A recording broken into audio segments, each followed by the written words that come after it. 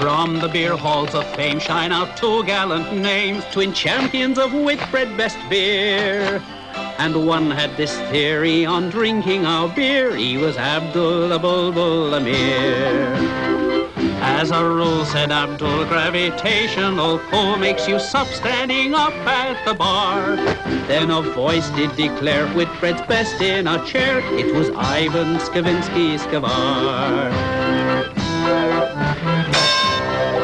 Well, those Gambie old fought it out, nail and tooth, but neither of them was correct.